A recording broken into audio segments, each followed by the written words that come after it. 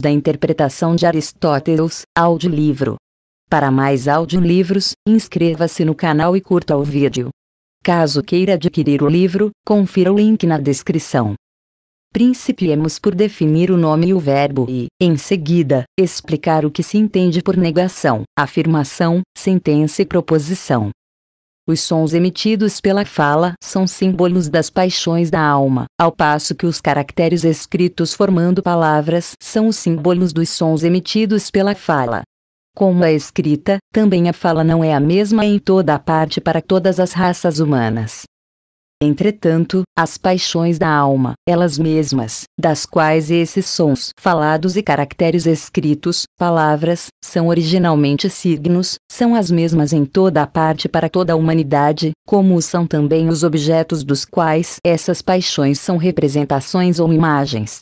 Destes temas, contudo, me ocupei em meu tratado a respeito da alma. Dizem respeito a uma investigação diversa da que temos ora em pauta, como por vezes assomam pensamentos em nossas almas, desacompanhados da verdade ou da falsidade, enquanto assomam por vezes outros que necessariamente encerram uma ou outra, coisa idêntica ocorre em nossa linguagem, uma vez que a combinação e a divisão são essenciais para que se tenham a verdade e a falsidade. Um nome ou um verbo por si mesmo muito se assemelha a um conceito ou pensamento que não é nem combinado nem dividido, Tal é o caso de homem, por exemplo, ou branco, se anunciados sem qualquer acréscimo. Não é verdadeiro nem falso. E uma prova disto reside no fato de que bode servo, na medida em que significa alguma coisa, não encerra em si nem verdade nem falsidade, a menos que adicionalmente dele prediques o ser ou o não ser, seja geralmente, isto é, sem conotação definida de tempo, seja num tempo particular. E, o nome é um som que possui significado estabelecido somente pela convenção, sem qualquer referência ao tempo, sendo que nenhuma parte dele tem qualquer significado, se considerada separadamente do todo. Toma o nome próprio Calipos. O hipos aqui é destituído de qualquer significado isolado, como teria na expressão calos hipos. E necessário, contudo, observar que os nomes simples diferem dos compostos, enquanto, no caso dos primeiros, as partes são completamente desprovidas de significado, naquele dos segundos possuem um certo significado, embora não separadamente do todo. Tomemos como exemplo, Epactroquelis. O nome Kelis não possui nenhum significado isoladamente, mas apenas como parte do todo. Já dissemos que um nome tem este ou aquele significado por convenção. Nenhum som é naturalmente um nome, converte-se em um tornando-se um símbolo.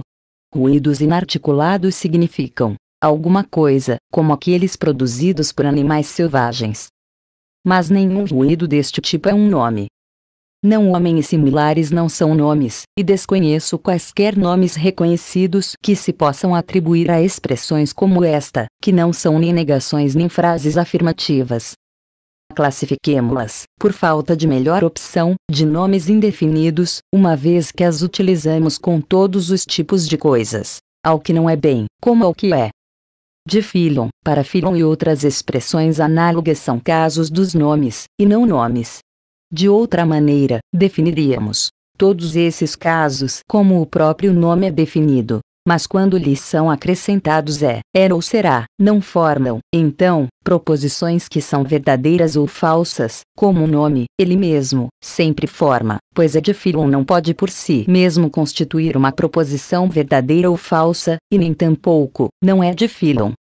E, o verbo é o que não apenas transmite um significado particular, como também possui uma referência temporal. Nenhuma parte por si mesma tem um significado, ele indica sempre que alguma coisa é dita ou predicada de outra coisa. Que eu explique. O que entendo por como também possui uma referência temporal. Por exemplo, saúde é um nome. Está saudável é um verbo, não um nome, pois além de transmitir seu próprio significado, indica que o estado significado, ou seja, a saúde, existe agora. Portanto, o verbo é uma indicação de alguma coisa predicada de alguma coisa, quer dizer, de uma alguma coisa predicada de um sujeito ou neste encontrada presente. está não doente, está não bem, et que não deveriam ser considerados verbos. Ainda que certamente apresentem a referência temporal e atuem constantemente como predicados, desconheço qualquer nome reconhecido para essas expressões classifiquemo-las, na falta de um nome melhor, de verbos indefinidos, uma vez que as usamos com todos os tipos de coisas, tanto as que não são quanto as que são. Ele estava saudável ou ele estará saudável não deveria, de igual modo, ser considerado verbo. Eu o chamaria de tempo verbal. Neste sentido, verbos e tempos verbais diferem. O verbo indica o presente, enquanto os tempos verbais indicam todos os tempos, exceto o presente. Os verbos, por si mesmos e isoladamente, são nomes e significam alguma coisa, pois aquele que fala interrompe seu processo do pensar e o ouvinte faz uma pausa. Entretanto, não chegam, a expressar juízos positivos ou negativos, pois mesmo os infinitivos ser, não ser o particípio, sendo somente são indicativos de fato se quando alguma coisa complementar é acrescida. Eles mesmos nada indicam, implicando uma cópula ou síntese, dificilmente por nós concebível separadamente das coisas assim combinadas. Iv. A sentença é fala dotada de significação, sendo que esta ou aquela sua parte pode ter um significado particular de alguma coisa, ou seja, que é enunciado, mas não expressa uma afirmação ou uma negação. Que eu explique mais minuciosamente. Tomemos a palavra homem. Com certeza esta encerra um significado, porém nem afirma nem nega. É preciso que algo lhe seja acrescentado para que possa afirmar ou negar. Entretanto, as sílabas da palavra homem são destituídas de significado. O mesmo ocorre com a palavra rato, da qual tu não possui significado algum, não passando de um som sem significação. Mas, vimos que, nos nomes compostos, as partes particulares possuem um significado, ainda que não separadas do todo. Ao entretanto, embora toda sentença tenha significado, ainda que não como um instrumento da natureza, mas, como observamos, por convenção, nem todas as sentenças podem ser classificadas como proposições. Chamamos de proposições somente as que encerram verdade ou falsidade em si mesmas. Uma prece, por exemplo, é uma sentença, porém não encerra nem verdade nem falsidade. Mas passemos isto por alto, uma vez que seu estudo diz respeito mais propriamente ao âmbito da retórica ou da poética. O nosso exclusivo objeto de estudo nesta investigação é a proposição. V. Das proposições simples, o primeiro tipo é a afirmação simples, o segundo a negação simples. As demais proposições simples o são mediante conectivo, Todas as proposições requerem a presença de um verbo ou da flexão verbal, pois mesmo a definição de homem não constitui ainda uma proposição, a não ser que é, era, será, ou algo deste tipo seja acrescentado. Mas alguém poderia indagar como é sustentável que a expressão animal pedestre bípede seja una e não múltipla. O fato das palavras serem proferidas em sucessão não as torna uma unidade. Entretanto, essa questão diz: respeito a uma investigação distinta da presente. As proposições simples são as que indicam um fato singular, uno, ou que são singulares, unas, em virtude de uma conjunção. Proposições múltiplas ou compostas são as que indicam não unidade, mas multiplicidade, ou que apresentam suas partes sem conjunção. O nome ou verbo pode ser classificado por nós como mera palavra, pois é impossível utilizarmos meros nomes ou verbos ao exprimir ou enunciar alguma coisa com a finalidade de constituir uma proposição, o que ocorre quer quando expressamos uma opinião espontânea, quer quando alguém nos propôs uma questão a qual estamos dando uma resposta. E assim repetimos que um tipo de proposição é simples, incluindo todas as que afirmam ou negam uma coisa ou outra de um sujeito, enquanto o outro é composto, quer dizer, composto de proposições simples. Uma proposição simples, mais precisamente, é um enunciado falado com significado que afirma ou nega a presença de alguma outra coisa num sujeito no tempo passado, presente ou futuro. Vi. Entendemos por afirmação a proposição que afirma alguma coisa de alguma coisa, e entendemos por negação a proposição que nega alguma coisa de alguma coisa uma vez que é possível afirmar e negar tanto a presença daquilo que está presente quanto a presença daquilo que está ausente, o que pode ser feito mediante referência aos tempos que estão fora do presente, tudo o que se possa afirmar é possível também negar, e tudo o que se possa negar é possível também afirmar.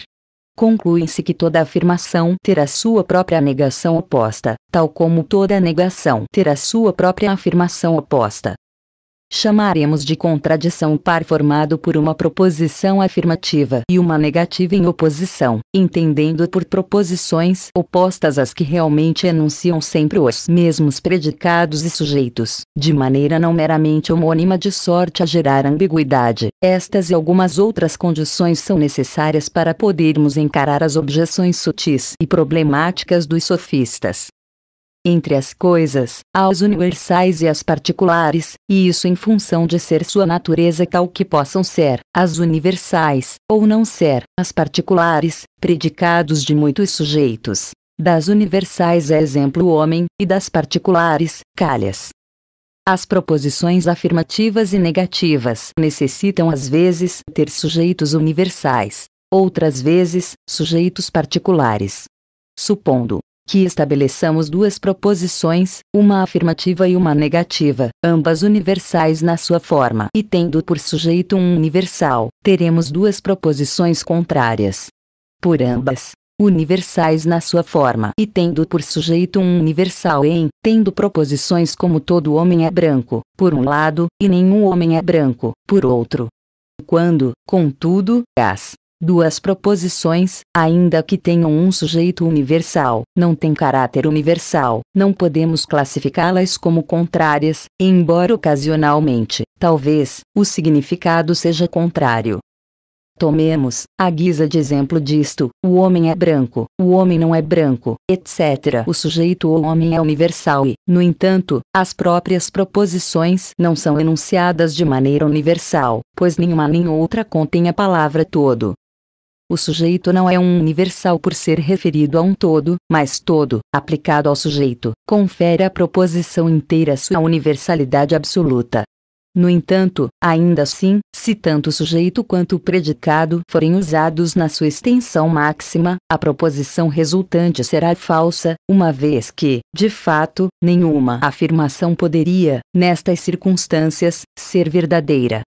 Todo, homem é todo animal serviria como uma boa ilustração disto. Chamo de opostos contraditórios a uma afirmação e uma negação quando aquilo que uma indica universalmente, a outra indica não universalmente. Exemplos: Todo homem é branco, se opõe a algum homem não é branco. Nenhum homem é branco, se opõe a algum homem é branco.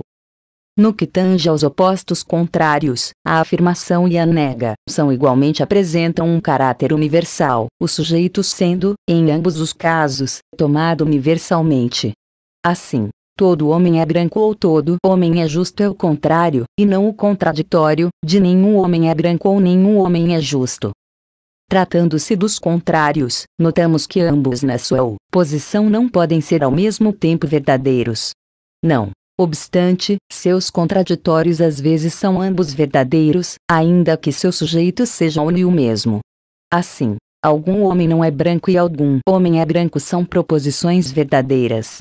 Todavia, no que respeita aos opostos contraditórios que têm universais por sujeitos e possuem caráter universal, um terá que ser verdadeiro, ao passo que o outro, falso. Isto também vale para proposições que apresentam termos singulares e particulares como seus sujeitos, como em Sócrates é branco e Sócrates não é branco. Quando, entretanto, as duas proposições não têm caráter universal, ainda que sejam sobre-universais, nem sempre nos defrontamos com o caso de ser uma delas verdadeira ou outra falsa, pois de certo podemos declarar muito verdadeiramente que o homem é branco e o homem não é branco, e que o homem é belo e o homem não é belo. Se feio, um homem não é belo, e tampouco é ainda belo se apenas tende a tomar-se belo. Esta concepção de cunho sumário pode, à primeira vista, chocar a razão, visto que o homem não é branco pareceria o equivalente a nenhum homem é branco. Mas, com efeito, o significado aqui não é idêntico, nem tampouco ambas as proposições são necessariamente verdadeiras ou falsas ao mesmo tempo. E evidente que a negação correspondente a uma afirmação simples ela mesma tem também que ser simples.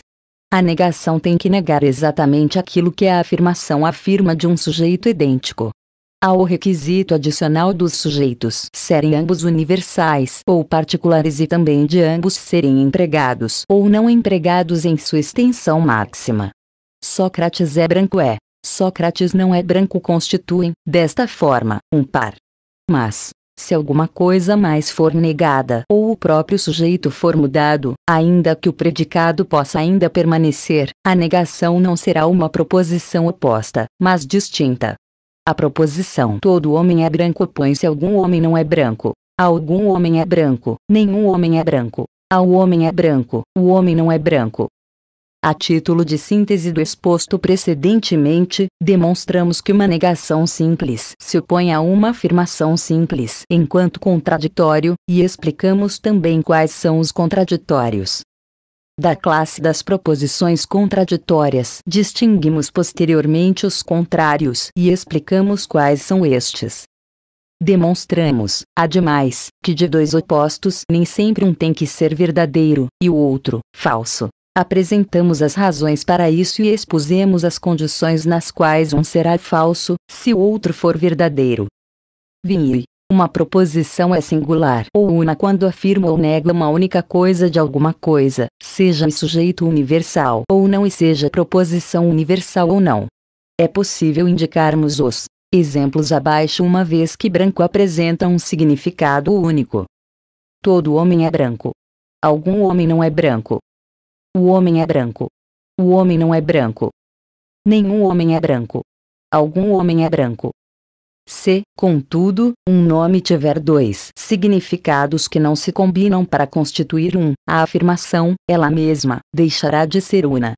Se, por exemplo, atribuímos o nome roupa igualmente a um cavalo e a um homem, resulta que a proposição afirmativa roupa é branca. Não será uma afirmação una, mas dupla, bem como a proposição negativa roupa não é branca não será uma negação una, mas dupla, pois a proposição a roupa é branca significa realmente o cavalo e o homem são ambos brancos, proposição que, por sua vez, corresponde a dizer que o cavalo é branco e o homem é branco.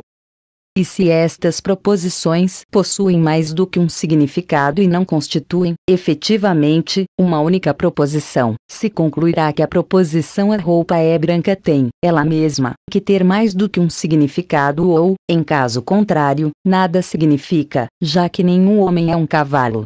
E, em consonância com isso, nem mesmo aqui, de duas proposições opostas como contraditórios uma é necessariamente verdadeira e outra necessariamente falsa.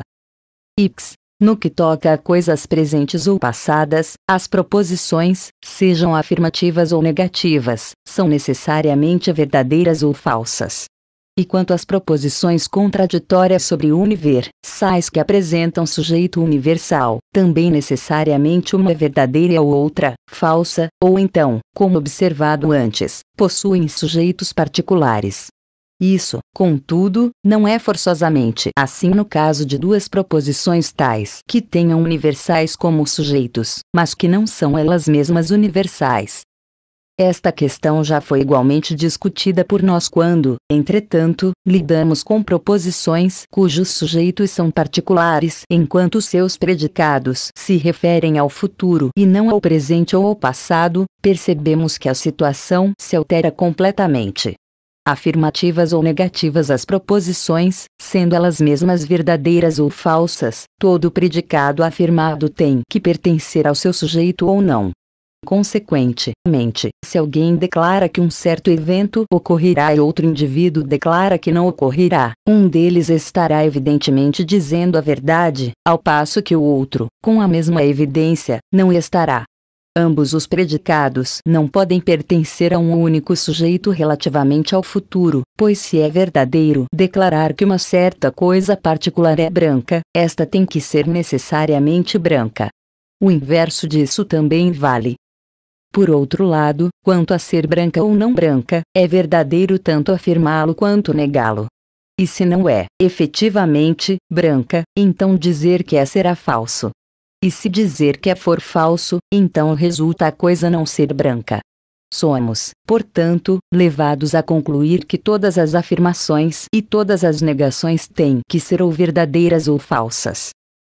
Ora, se tudo isso assim é, nada há que aconteça por acaso ou que seja atingido pelo acaso. Nada jamais acontecerá assim.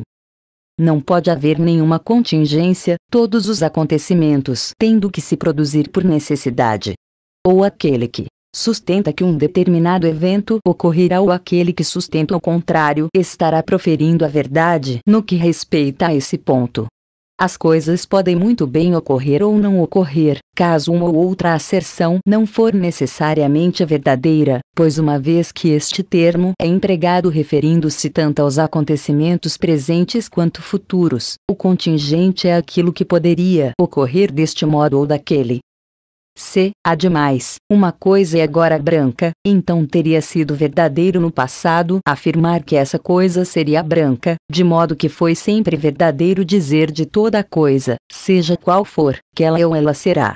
Mas sim todo o tempo, entretanto, foi verdadeiro afirmar que uma coisa é ou será, e, no entanto, impossível que ela não seja ou que não esteja na iminência de ser. Ora, se alguma coisa não tem a capacidade de não acontecer, de não vir a ser, é impossível para ela não acontecer, e se é impossível para alguma coisa não acontecer, é para ela necessário acontecer. A consequência disso é que os eventos futuros, como asseveramos, se produzem necessariamente. Nada é fortuito, contingente, pois se alguma coisa acontecesse por acaso, não aconteceria por necessidade. Não podemos sustentar, todavia, que nenhuma nem outra proposição seja verdadeira. Por exemplo, não podemos sustentar que um certo evento se realizará nem que não se realizará no futuro. Isto porque, em primeiro lugar, mesmo que uma afirmação ou negação se provasse como falsa, ainda assim a outra proposição não seria verdadeira. Fosse, em segundo lugar, verdadeiro afirmar que a mesma coisa é tanto branca quanto grande, teria ela que possuir essas duas qualidades características necessariamente. Se as possuirá amanhã, isto será necessariamente. Mas se dizemos que algum evento nem se realizará amanhã, nem não se realizará amanhã, não há contingência. Tomemos como exemplo uma batalha naval. Constitui requisito, em nossa hipótese, que ela nem ocorresse nem deixasse de ocorrer amanhã. Resultam estas e outras consequências despropositais se supusermos, no caso de um par de opostos contraditórios detentores de sujeitos universais e eles mesmos universais, ou detentores de um sujeito particular, que um tem que ser verdadeiro é o outro falso, que não pode haver neste caso nenhuma contingência, que todas as coisas que são ou ocorrem se produzem no mundo por necessidade, não haveria necessidade de deliberar ou ter cuidado se conjecturássemos que uma vez adotada uma particular linha de conduta, um certo resultado se seguiria que, se não o fizéssemos, não se seguiria. Nada obsta que alguém prediga com antecedência de, digamos, uns 10 mil anos algum evento futuro, enquanto outra pessoa prediga o contrário. O que ocorrerá necessariamente corresponderá a uma das duas predições, não importa qual, tornada verdadeira no momento de sua realização. E, com efeito, é totalmente irrelevante se predições contraditórias foram realmente feitas de antemão, pois o fato de alguém ter afirmado ou negado não altera o curso dos acontecimentos e acontecimentos não são produzidos ou evitados pela afirmação ou negação de que virão a se realizar num tempo e ao futuro. Nem tampouco, acresçamos, importa a idade das predições. E, por conseguinte, se ao longo das eras a natureza das coisas foi tal que uma certa predição se revelou verdadeira, esta teria necessariamente que se tornar real. E a natureza de todas as coisas foi tal que os eventos se produziram necessariamente, pois qualquer acontecimento que alguém no passado haja uma vez verdadeiramente prédito tem forçosamente que, no devido decorrer do tempo, se produzir, e no que se refere àquele que numa ocasião se produziu, revelou-se verdadeiro, sempre afirmar que se produziu no devido tempo. Tudo isso é, todavia, impossível. Estamos cientes, com base em nossa experiência pessoal, que eventos futuros podem depender das deliberações e ações e que, nos expressando de um modo geral, essas coisas que não estão ininterruptamente em ato exibem uma potência, isto é, a possibilidade de ser e de não ser. Se tais coisas podem ser ou podem não ser, os acontecimentos podem ocorrer ou podem não ocorrer. Disto há numerosos exemplos evidentes. Este casaco pode ser cortado em duas metades, não obstante isso, pode não ser cortado em duas metades. Pode desgastar-se antes que isso venha a acontecer, de modo que pode não ser cortado em dois, pois, salvo fosse realmente este o caso, não teria sido possível, em primeira instância, o desgaste do casaco. O mesmo vale para todos os demais eventos que em qualquer desses sentidos são potenciais, isto é, aos quais é atribuída possibilidade, fica claro que nem tudo é ou se produz por necessidade. Há casos de contingência, com que a proposição afirmativa não é mais verdadeira ou mais falsa do que a negativa, Constatamos que alguns casos, ademais, ao menos no que tange a maioria e ao mais comum, apresentam tendência numa certa direção, o que não os impede, não obstante, de poderem, ocasionalmente, surgir na outra direção ou direção mais esporádica. Aquilo que deve ser necessariamente quando é, aquilo que não é não pode ser quando não é. Isto, não quer dizer que tudo aquilo que é será necessariamente é, que tudo aquilo que não é não será necessariamente. Com efeito, dizer que tudo que é é necessariamente quando é, não é algo idêntico a dizer incondicionalmente que é por necessidade. Analogamente com aquilo que não é. E no caso de duas proposições contraditórias constata-se que vale o mesmo, ou seja, todas as coisas têm que ser ou não ser, têm que se produzir, vir a ser, ou não se produzir, vir a ser, neste ou naquele tempo no futuro. Não podemos, contudo, dizer determinadamente qual alternativa tem que se produzir necessariamente. Por exemplo, uma batalha naval amanhã necessariamente ocorrerá ou amanhã não ocorrerá uma batalha naval. Mas não é necessário que amanhã ocorra uma batalha naval, como também não é necessário que amanhã não ocorra uma batalha naval.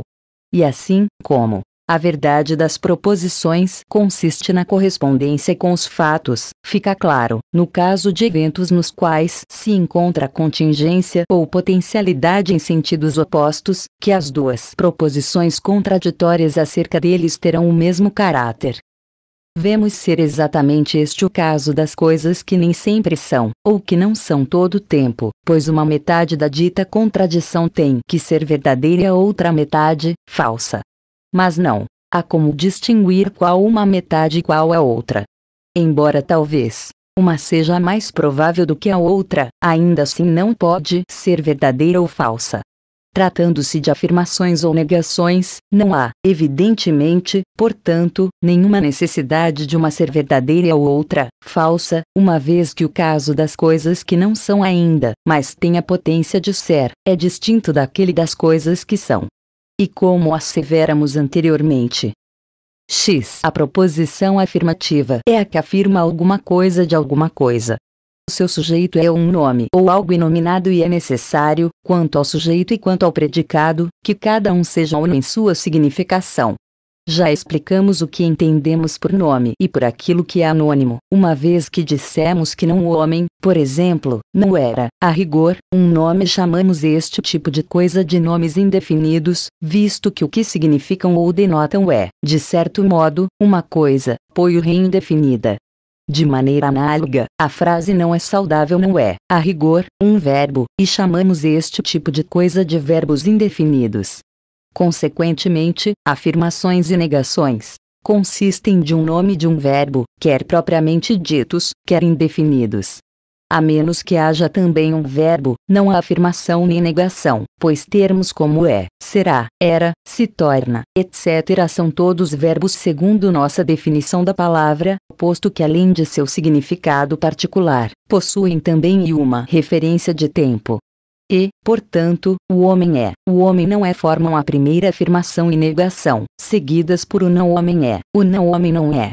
Ademais, temos proposições, como todo homem é e todo não homem é, todo homem não é e todo não homem não é. O mesmo raciocínio aplicamos ao que toca aos tempos futuro e passado. No caso da presença de dois outros termos e o termo é ser usado como um terceiro, haverá dois tipos distintos possíveis de afirmações e negações. Tomemos o homem é justo como exemplo. O vocábulo constitui aqui um terceiro termo, seja ele na sentença chamado de verbo ou nome. E, em consequência, destes termos ou fatores, teremos aqui quatro proposições, duas delas correspondendo em sua sequência, no que respeita à afirmação e à negação, aquelas proposições ou sentenças que se referem a um estado de privação, enquanto as outras não cor, responderão a isso. Supondo que a seja adicionado a justo ou a não justo, teremos duas sentenças afirmativas. Supondo que não a seja adicionado, teremos duas sentenças negativas. Juntas, elas constituem as quatro proposições. O que queremos dizer? Fica claro pelo quadro abaixo. Afirmações: O homem é justo. O homem é não justo. Negações: O homem não é justo. O homem não é não justo é e não é, nestes casos, estão adicionados a justo ou não justo. E desta forma que estas proposições estão dispostas nos analíticos. Na hipótese de utilizarmos os sujeitos em extensão universal, veremos que a regra é a mesma, a saber, afirmações: todo homem é justo. Todo homem é não justo. Negações: algum homem não é justo. Algum homem não é não justo. Não há, entretanto, possibilidade aqui, de maneira idêntica ao primeiro caso, das proposições unidas na diagonal serem ambas verdadeiras, ainda que isso seja possível algumas vezes. Assim, dois pares de proposições opostas foram devidamente apresentados acima e dois outros se seguirão, desde que um terceiro termo seja adicionado a não homem considerado como uma espécie de sujeito. Vejamos. Afirmações. O não homem é justo. O não homem é não justo. Negações. O não homem não é justo. O não homem não é não justo. Não é possível descobrir mais pares de proposições opostas além destes. Mas o último destes grupos deveria ser visto como distinto dos dois que o precedem, por ter não homem como sujeito onde e não se ajusta como verbo e empregamos caminha, tem saúde similares, estes verbos produzem o mesmo efeito que seria produzido se fosse empregado é. Assim, temos, por exemplo, todo homem tem saúde. Todo homem não tem saúde. Todo não homem tem saúde. Todo não homem não tem saúde. Nestes casos devemos ter cautela para não dizer não todo homem, devendo não ser adicionado a homem. O sujeito não é um universal por ter um todo, mas este indica que o sujeito, enquanto tal, é assumido em toda a sua extensão. Isso se evidencia em proposições como: o homem tem saúde. O homem não tem saúde. O não homem tem saúde. O não homem não tem saúde. Estas proposições diferem das anteriores devido a serem indefinidas e não universais na forma. Assim, todo e nenhum não significam mais do que o fato, seja proposição afirmativa ou negativa, do próprio sujeito ser tomado em toda a sua extensão. O resto da proposição permanecerá, portanto, em todos os casos inalterado. Todo animal é justo tem como proposição contrária nenhum animal é justo. E óbvio que estas duas proposições jamais serão concomitantemente verdadeiras e nem se aplicarão a um único sujeito. No entanto, seus dois contraditórios às vezes se revelarão ambos verdadeiros, quais sejam, algum animal não é justo e algum animal é justo. Então de todo homem é não justo surge a proposição nenhum homem é justo. Algum homem não é não justo, sua oposta, resulta de algum homem é justo, pois tem que haver necessariamente algum homem justo. quando o sujeito é particular, desde que uma questão seja indagada e a resposta negativa seja verdadeira, uma certa proposição afirmativa terá também manifestamente que ser verdadeira. Tomemos a questão Sócrates é sábio? Suponhamos que a resposta negativa seja verdadeira então Sócrates é não sábio, inferência que pode ser feita corretamente de imediato. No caso dos universais, contudo, não é uma inferência semelhante, ou melhor, uma afirmação correspondente, mas sim, ao contrário, uma negação que pareceria ser verdadeira. Se a resposta negativa à questão todo homem é sábio for verdadeira, inferir que todo homem é não sábio seria, nestas circunstâncias, falso, e nem todo homem é sábio seria correta. Esta última é a proposição contraditória, e a primeira proposição contrária predicados e nomes indefinidos, tais como não homem e não justo se afigurariam como sendo negações efetivas sem qualquer nome, qualquer verbo, como esses termos são mais propriamente usados. Mas não é realmente assim. Toda negação, necessariamente tem que ser ou verdadeira ou falsa, e quem quer que diga não o homem, por exemplo, sem que nada seja juntado a isto, está dizendo não mais porém menos verdadeira ou falsamente do que aquele que diz homem. Todo não homem. É justo é uma proposição que não é em seu significado equivalente a qualquer proposição que mencionamos. Nem tampouco é o seu contraditório, algum não homem não é justo todo não homem e não justo, entretanto, corresponde ao mesmo que dizer nada que não seja homem é justo. B pode-se transpor o sujeito e o predicado, com o que, todavia, não se acarreta qualquer alteração do significado da sentença. Assim dizemos o homem é branco e branco é o homem, e se estas proposições não significassem o mesmo, deveríamos ter mais negações do que uma correspondendo à mesma afirmação mas demonstramos haver uma e apenas uma. A proposição homem é branco tem como sua negação o homem não é branco. Se branco é o homem diferisse em algum modo no seu significado de o homem é branco, teria como proposição negativa branco não é o homem o branco não é o não homem, pois a primeira nega o homem é branco e a última nega branco é o não homem. Haveria, portanto, dois contraditórios de uma mesma afirmação. A transposição do sujeito e do predicado, por conseguinte, não produz alteração alguma no sentido das afirmações e negações. X. Afirmar ou negar um só predicado de muitos sujeitos, ou muitos predicados de um só sujeito, não constitui uma proposição afirmativa ou negativa, salvo se o denotado pelo múltiplo no seu conjunto constitui uma alguma coisa una. Não denomino uno as coisas que, embora possuindo um nome, não se fundem numa unidade total. O homem é animal, bípede, civilizado. Isto se funde num algo uno, ao passo que branco, o homem caminhar, não. Caso predicássemos estes de um sujeito ou afirmássemos um único predicado deles, a proposição resultante não seria una em sentido algum, exceto no linguístico. Se, então, a questão dialética consiste em exigir uma resposta, a concessão, quero dizer, de uma premissa de um entre dois contraditórios, tal como cada premissa, ela mesma, e, a resposta a qualquer questão de tal natureza, na medida em que contém os predicados acima indicados, não pode ser uma proposição una. Ainda que a resposta procurada possa ser verdadeira, não obstante isso a questão não é una, mas múltipla. Disto foram apresentadas explicações nos tópicos.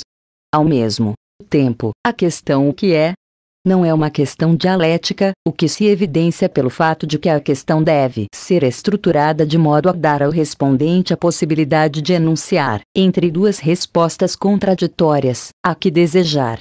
A questão deve ser tornada mais específica, indagando, por exemplo, se o ser humano possui ou não alguma qualidade definida, em certas combinações de predicados percebemos que os predicados separados se fundem em um predicado. Em outras, ao contrário, não se fundem.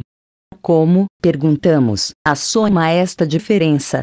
Podemos ou usar duas proposições e anunciar, primeiramente, que o homem é um animal, em segundo lugar, que o homem é um bípede, ou, fundindo as duas em uma, enunciar que o homem é um animal bípede. Podemos fazer o mesmo uso de homem branco. Mas o mesmo não ocorre com sapateiro e bom, pois se alguém é bom e um sapateiro não resulta disso que ele seja um bom sapateiro. A admissão de que a verdade de cada predicado separado conduz obrigatoriamente a de um predicado composto resultaria em muitos absurdos. 1. Um, homem é um homem e é branco. Será, portanto, também um homem branco. E se ele é branco, então se segue que o composto também é branco, o que nos dará um homem branco branco, e assim por diante, indefinidamente. Se tomarmos músico, caminho e branco, veremos que estes podem ser combinados multiplamente. E de Sócrates, também, podemos dizer ele é Sócrates, ele é um homem e é, portanto, o homem Sócrates.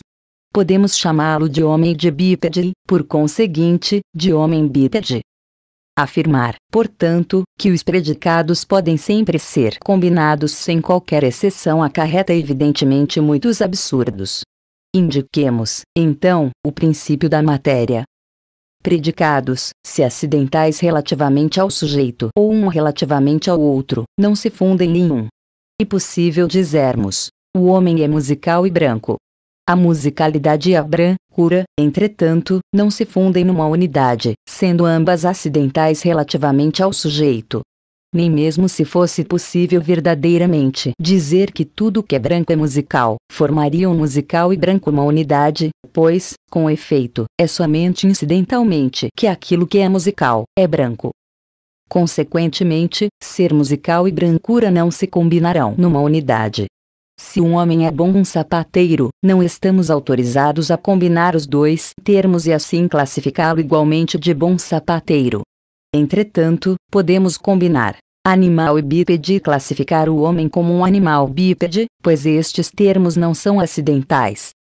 Por outro lado, a unidade não pode ser formada por predicados estando um contido no outro.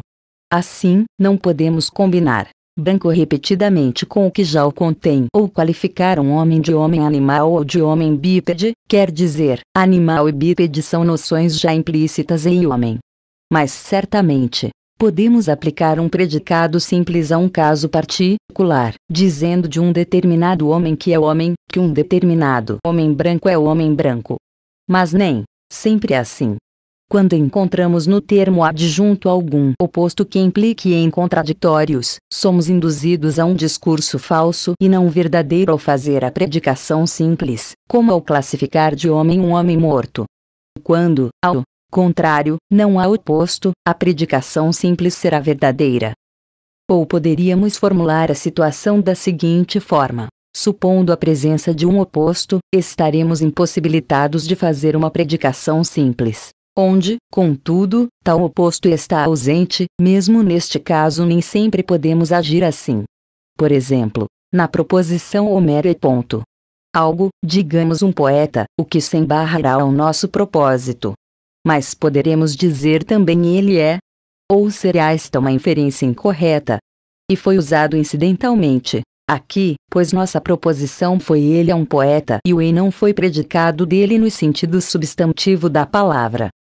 Portanto, nessas predicações que não possuem nenhuma contradição que lhes seja inerente, se os nomes forem substituídos por definições e os predicados não forem acidentais, mas pertencentes às coisas neles mesmos, o particular poderá ser o sujeito também das proposições simples.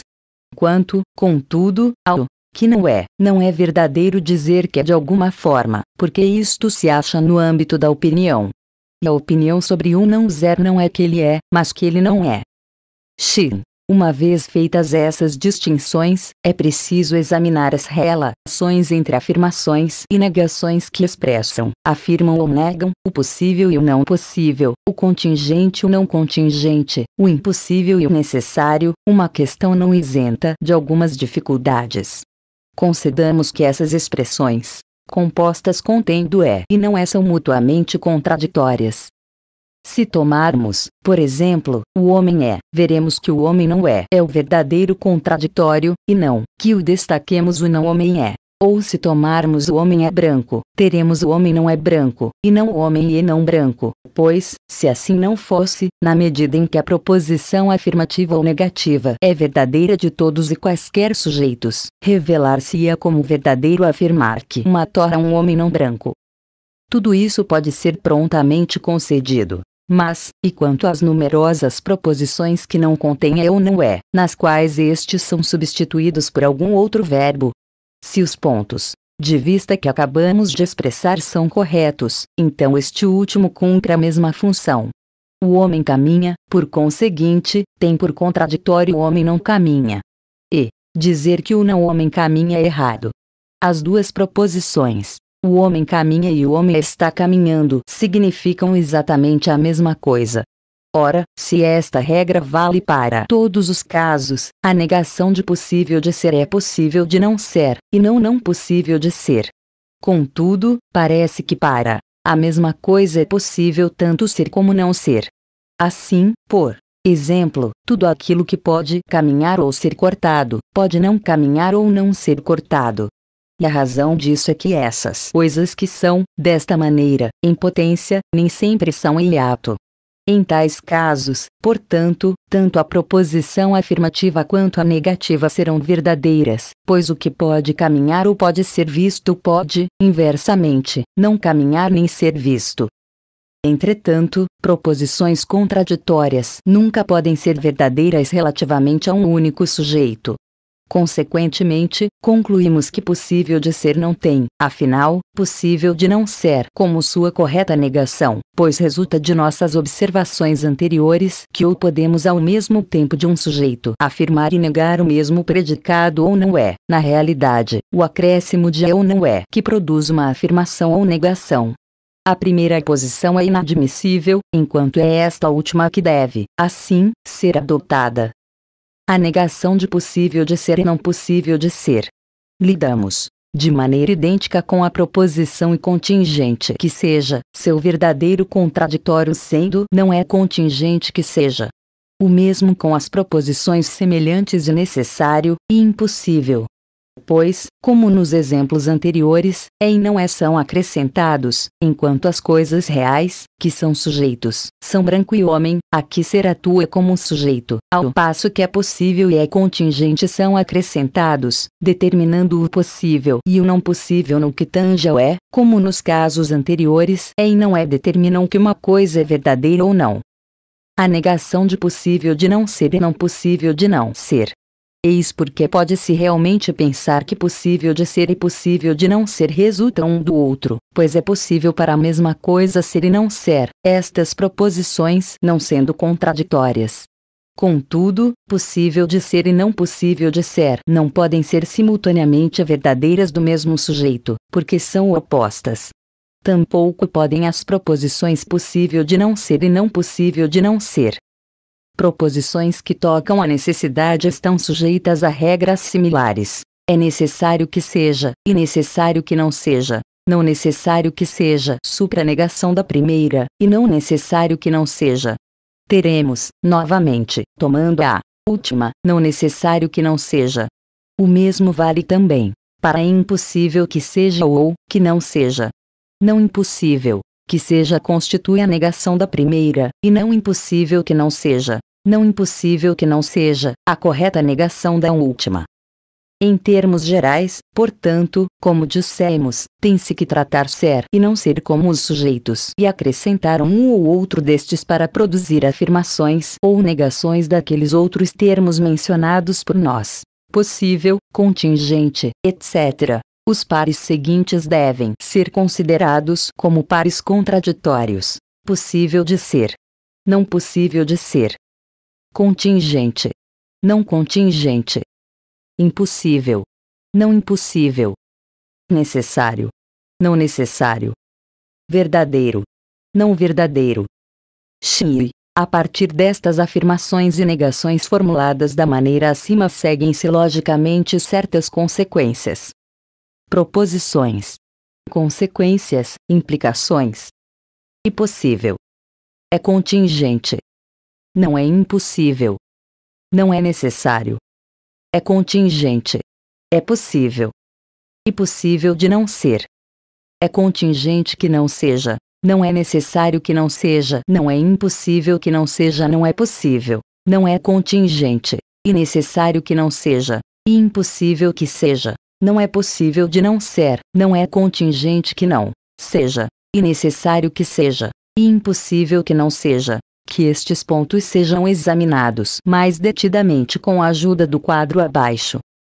É possível de ser, não é possível de ser, e contingente não é contingente. Não é impossível que seja, é impossível que seja, não é necessário que seja, é necessário que não seja. É possível de não ser, não é possível de não ser, e contingente que não seja, não é contingente, que não seja, não é impossível, que não seja, é impossível, que não seja, não é necessário, que não seja, é necessário que seja, as proposições, é impossível que seja, não é impossível que seja, são consequências ou implicações das proposições e possível de ser, e contingente e não é possível de ser, não é contingente a maneira de contraditório, mas inversamente pois possível de ser implica não impossível de ser, ou seja, a negação de impossível. Impossível, a afirmação, é consequência da negação de possível de ser, isto é, de não possível de ser. Vejamos agora como ficam as coisas com proposições que predicam necessidade. Não há dúvida que a situação aqui é diversa, Proposições contrárias serão consequências de proposições contraditórias, pertencendo estas últimas, ademais, a sequências distintas, uma vez que não necessário que seja não pode constituir a negação de necessário que não seja, isto porque ambos estes predicados são perfeitamente válidos de um único sujeito, uma vez que quando é necessário que uma coisa seja, ela é necessariamente Ora, como se explica que todas as proposições predicadoras de necessidade não são identicamente consecutivas àquelas com as quais estamos lidando? A resposta é que quando usadas com um sujeito contrário, predicar impossibilidade equivale a afirmar a necessidade. Supondo-se, digo, que seja impossível para uma coisa ou outra ser, é necessário não que seja, porém, ao contrário, que não seja. Supondo-se, por outro lado, que seja impossível para uma coisa ou outra não ser, é necessário que seja. Assim, se constatamos que essas proposições que afirmam o impossível ou o inverso, o negam, sem mudança de seu sujeito, são consequências daquelas que predicam a possibilidade ou a não possibilidade, as que predicam a necessidade serão consecutivas daquelas com o sujeito contrário e necessário e impossível não têm significação idêntica e, não obstante, estão conectadas inversamente, um ponto no qual já tocamos. Ou será que estamos impossibilitados de dispor contraditórios predicadores de necessidade do modo que fizemos acima? Afinal, o que é necessário também é possível de ser. Em caso contrário, a consequência seria negativa, pois uma ou outra, a negação ou a afirmação, tem que ser consecutiva. Conclui-se que se uma coisa não é possível de ser, tem necessariamente que ser impossível de ser. E, por conseguinte, declaramos como impossível de ser o que é necessário ser. Mas esta declaração é visivelmente absurda. Entretanto, de possível de ser segue-se logicamente não impossível de ser, do que se segue não necessário de ser, resultando que o necessário de ser não é necessário de ser, com o que incorremos mais uma vez no absurdo ponto todavia, não é necessário de ser, nem tampouco necessário de não ser consequências de possível de ser. Quero dizer que, possível de ser envolve uma potencialidade bilateral. Caso uma, das duas proposições que acabamos de mencionar fosse, entre, tanto, verdadeira, não disporíamos mais de ambas as alternativas. A coisa que pode ser, é possível de ser, pode, contudo, não ser. Mas supondo-se que é necessário que seja, não pode ao mesmo tempo ser e não ser. O que permanece, assim, que não necessário não ser se segue a possível de ser, posto que isto também é verdadeiro de necessário de ser. Notamos, também, que esta proposição se mostra contraditória relativamente à consequência de não possível de ser, uma vez que impossível de ser é consecutiva de não possível de ser, o sendo também necessário de não ser, cuja negação é não necessário de não ser. Assim, Vemos que igualmente neste caso contraditórios se seguem a, são consecutivos de, contraditórios, segundo o modo que indicamos e que, ao serem dispostos deste modo, não conduzem a nenhuma impossibilidade. Seria permitido aqui levantar a questão de se é necessário de ser se segue logicamente é possível de ser. Se não, a sequência, consequência, lógica será o contraditório não possível de ser, ou caso se negue ser este o contraditório, ter-se-á que dizer que possível de não ser é o contraditório. Mas ambas essas proposições são falsas, se aplicadas ao que é necessariamente. Parece reconhecer-se que coisas que podem ser ou que podem ser cortadas, podem, inversamente, não ser ou não ser cortadas, o que corresponde a dizer e nos leva a concluir que aquilo que é necessário ser pode não ser, o que é falso. Está claro que nem tudo que é capaz de ser ou caminhar detém a potencialidade oposta. Há casos que atestam o contrário. Para começar, há aquelas coisas que possuem uma potência não racional, entre as quais encontramos o fogo, que é capaz de emitir calor, que é uma potência não racional. As potências racionais surgem de múltiplas formas ou através de resultados ou direções contrários. Mas nem todas as potências não racionais são assim. O fogo, a fim de reiterarmos o que dissemos, não pode tanto emitir quanto não emitir calor e, tampouco, pode qualquer outra coisa em ato possuir uma tal potência. Algumas potências irracionais, entre, tanto, são também capazes de opostos. Mas o que desejamos, Enfatizar em nossas observações é que nem toda potência admite opostos, mesmo quando a potência é empregada de modo inteiramente não ambíguo, os opostos correspondendo à mesma ideia do potencial. Por vezes a ambiguidade do termo. O próprio possível é ambíguo. Por um lado, é empregado com referência a fatos e coisas atualizados, e possível alguém caminhar porquanto efetivamente caminha e, em geral, chamamos uma coisa de possível, uma vez que já se encontra em hiato. Por outro lado, emprega-se possível com referência a uma coisa que poderia converter-se em hiato. É possível alguém caminhar, uma vez que sob certas condições caminharia e somente ao que é capaz de se mover que pertence esse tipo de potência, enquanto a primeira pode ser possuída também pelas coisas incapazes de movimento. Em ambos os casos, daquele que caminha e está em ato e daquele que tem a potência do caminhar, mas não tem esta potência convertida em ato, atualizada, é correto dizer que não é impossível que caminhasse, ou que fosse. Ora, esta a última potência não pode ser afirmada do necessário na sua acepção não qualificada. A outra, contudo, pode ser afirmada. A título de conclusão, portanto, tal como o universal se segue do particular, o possível se segue daquilo que existe por necessidade, ainda que não em todos os seus sentidos. A necessidade, penso, e sua ausência, no que concerne ao ser ou não ser, de fato podem propriamente ser chamadas de primeiros princípios, de sorte que tudo o mais deve ser contemplado meramente como o que se lhe segue ou sua consequência. Do exposto anteriormente fica evidente que o necessário é também o atual e que o atual é anterior ao potencial na medida em que o eterno é anterior. Há, em primeira instância, aqueles atos completamente destituídos de potência, tais como as substâncias primárias. Em seguida, a classe de coisas que são atuais e também potenciais. No que tange a estas, o ato é anterior à potência na ordem da natureza, ainda que não seja no tempo. Em último lugar, há as coisas que permanecem como potências e jamais se convertem em atos. Chive. A dúvida aqui suscitada é se uma proposição afirmativa é contrária a uma proposição negativa ou contrária a uma segunda afirmação. A proposição todo homem é justo tem como contrária nenhum homem é justo ou todo homem é injusto. Calhas é justo, calhas não é justo, calhas é injusto ilustram o que quero dizer.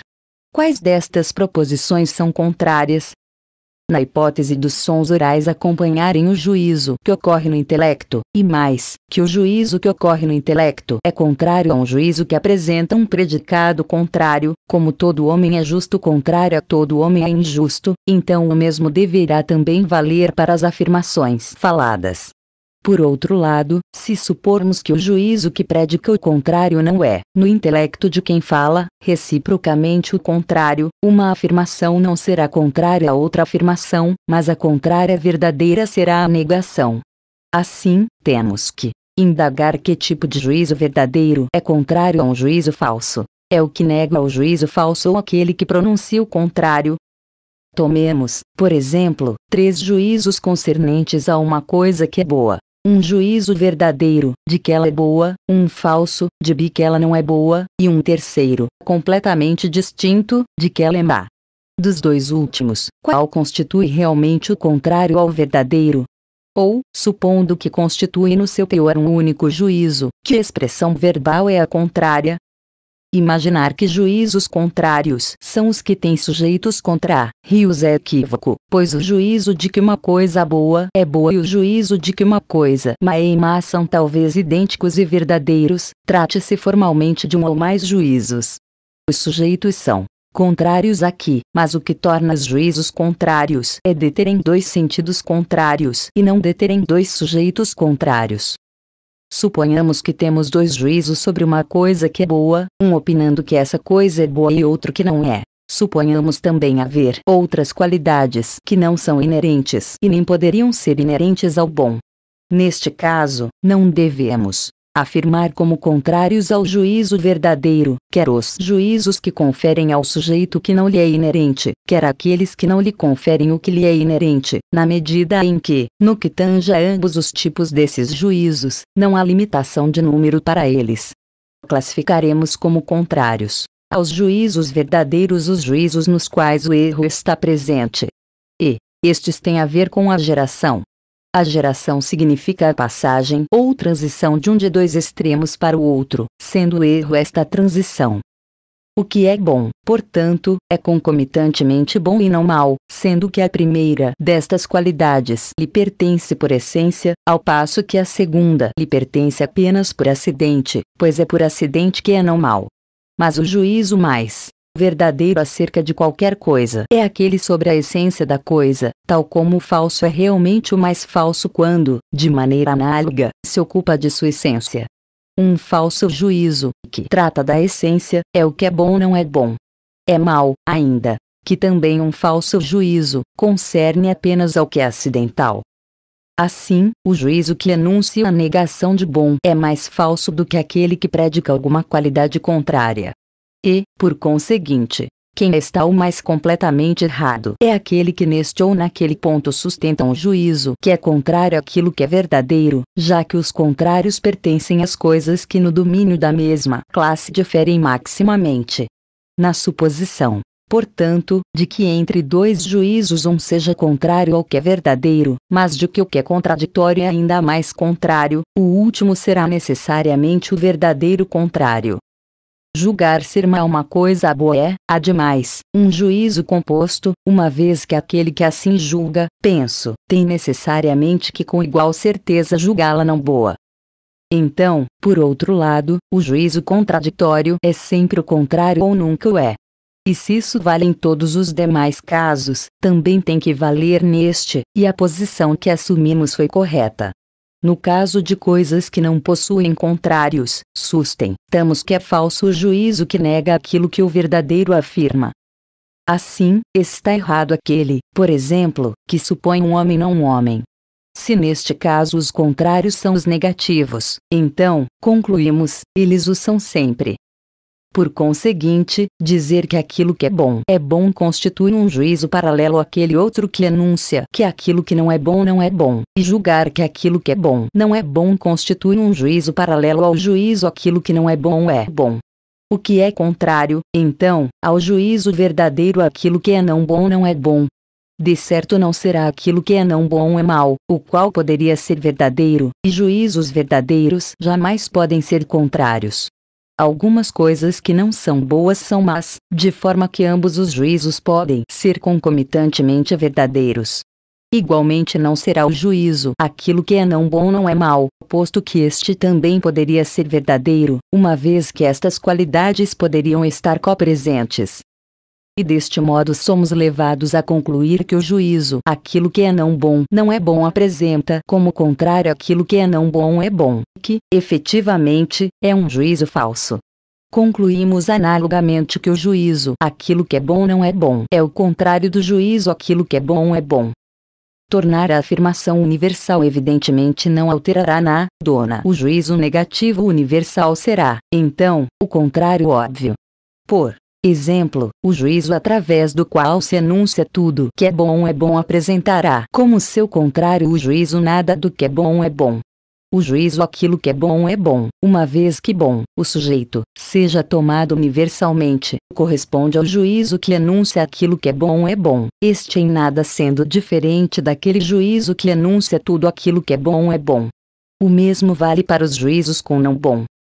Se é isso que ocorre com nossos juízos, e afirmações e negações faladas são símbolos dos juízos que estão na alma, é evidente que a negação universal, quando seu sujeito é único e idêntico, é o verdadeiro contrário da proposição afirmativa. Por conseguinte, as proposições afirmativas todo homem é bom, tudo o que é bom é bom, apresentam como seus contrários. Nenhum homem é bom e nada do que é bom é bom. Os contraditórios, entretanto, têm como sujeitos nem todo homem é bom, nem todo bom, bem, é bom. É também evidente que juízos verdadeiros e proposições verdadeiras jamais podem ser contrários entre si. Embora duas proposições verdadeiras possam ser ao mesmo tempo afirmadas verdadeiramente, duas proposições contrárias têm que predicar qualidades contrárias, as quais nunca podem ser simultaneamente inerentes a um sujeito idêntico. Jeito idêntico. Jeito idêntico. Jeito idêntico. Jeito idêntico. Jeito idêntico. Jeito idêntico.